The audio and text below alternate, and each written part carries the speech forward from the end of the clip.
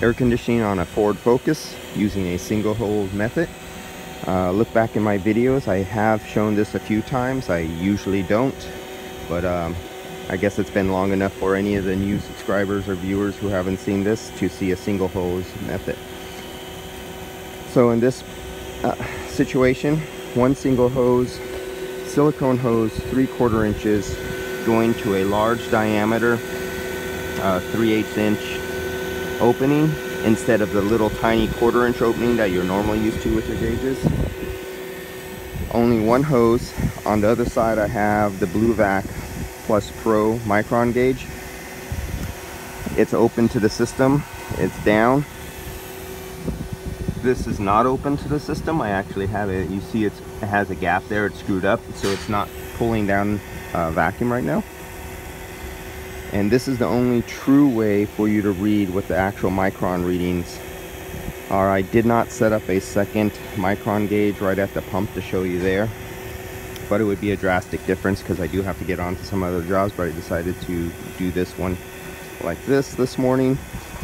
It's roughly uh, 45 degrees out right now. So it's pretty cold, cold car in this situation to help with the vacuum on cold mornings when you do cars outside or in a cold garage start up the engine close the hood and pull your vacuum with the engine compartment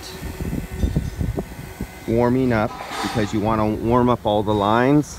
You want to warm up the condenser. Will get heat from the radiator and all the hoses and everything like that have oil that is just completely saturated with moisture. And the only way on a cold morning in a deep vacuum to help remove that faster is by having all the lines heated up. Put your AC system in defrost mode. Put it in defrost mode. If you can do recycle, do recycle because it's so cold outside. Turn the temperature all the way up because what you want to do is you want to heat up the cabin. So you want 80, 90 degree air in here. You want it on defrost because in defrost it turns on to air conditioning mode. In the air conditioning mode, it will take the hot air, 80, 90 degrees, and recycle it through the indoor um, recycle and put it past the evaporator and heat up the evaporator. Your evaporator will have an ounce, maybe more, of oil stored inside the evaporator.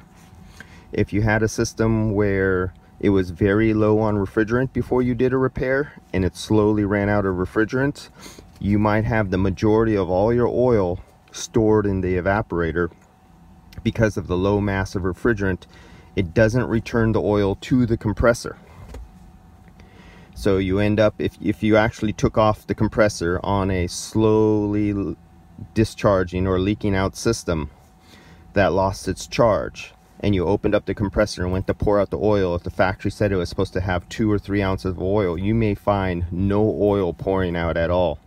If you took out the evaporator and poured and tipped the evaporator over in its openings, you might find a lot of oil coming out of the evaporator because all the oil migrated out, built up inside the evaporator, there wasn't enough mass, volume, velocity of refrigerant flow to carry that oil out there, so that's where it's at. So in this case, what you're doing is you're heating that oil up while evacuating when you're in a climate that might be 40 degrees, 30 degrees, 20 degrees. It'll take a really long time if maybe even not at all with your regular pumps you won't be able to get that oil out of the, or you won't be able to get the moisture out of the oil make sure all your vents are open. Well you're going to have it on defrost anyway so it's all going to come out there.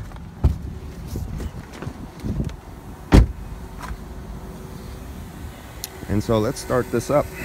Okay so the vacuum pump is on. I will reach over here and I'll start turning the valve in. Let's watch this. We'll hear the difference on the pump. I don't know if you can hear it. Do let when it opens? There it goes Okay, so we're now evacuating through one single hose on the low side and it's bringing down the vacuum entire system. The only way to get your true micron reading is being located somewhere the furthest point away from where you're evacuating. This was very easy to do on old R12 systems, especially if they had accumulators or switches that had depressor switches, uh, depressing ports on them that had a valve core in them because you could remove them. You would hook on your micron gauge there or at the accumulator and you can actually take, take a true micron reading in the system to know you went way below 500 microns if you could. The lower the better.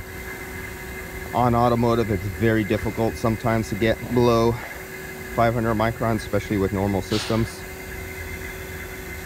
So as you can see this is taking quite a while. There we go. So now we're getting down there and we're getting down there pretty damn rapidly.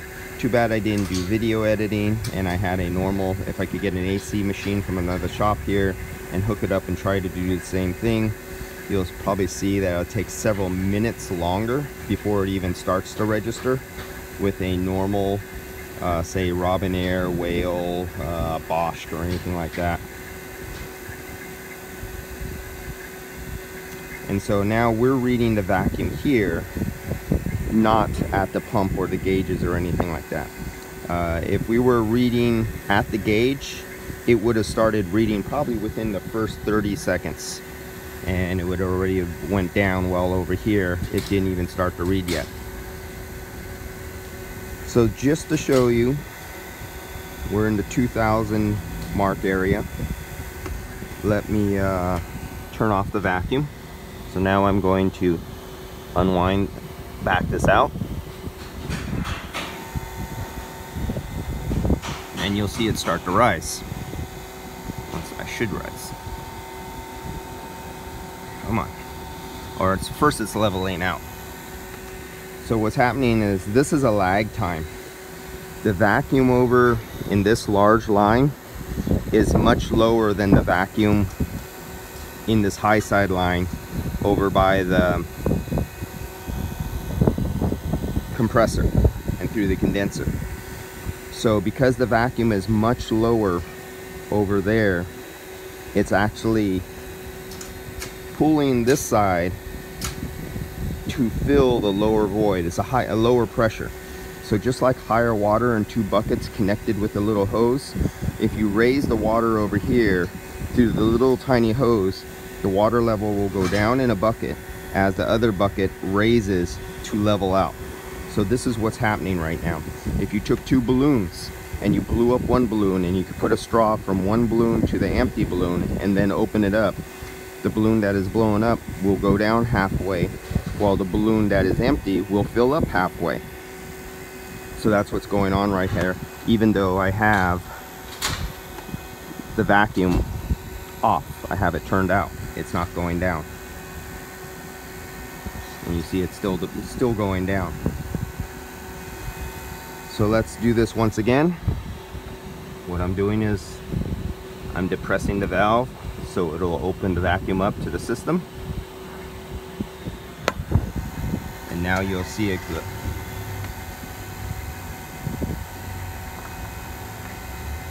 It's actually bouncing back up. This is um, a phenomenon that happens. It's actually going down. In, in the overall scheme of thing, it's actually going down. But this is a phenomenon that happens that'll confuse a lot of guys because something's broken there's a leak. I know there's not a leak. I know that's drawing a good vacuum. Guys will go there's a leak and because uh, my vacuum is going up. So now you can see it's going back down again. But at first and it's bouncing around. So that's moisture bubbling off and boiling out of the uh, refrigerant oil that is trapped in the system you'll actually see vacuum spiking up and spiking down, spiking up and spiking down. If you graph this out, if you've seen some of my other videos, if you graph this out, you'll see it spiking up and down, up and down. And if you graph it out over a long period of time, you'll see a pattern that it's slightly going down, but it's popping back up. And this is actually water that is actually bursting out of the oil like steam.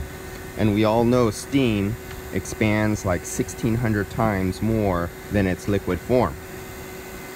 And those little micro bursts of steam that's happening throughout the whole entire system are rising the pressure up.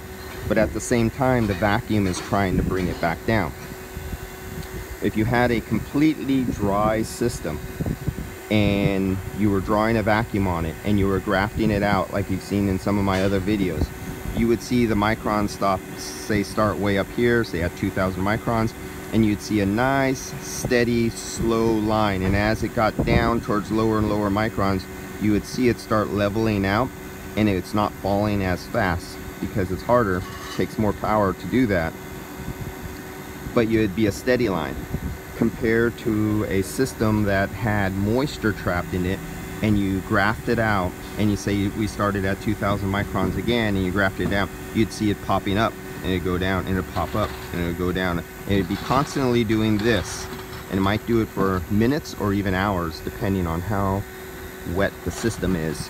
Before you started seeing it taper off it reaches the equilibrium and there's no more moisture or next to nothing to remove and you'd see it start to drop again. And it would stop doing the little peaks and it'd start leveling out.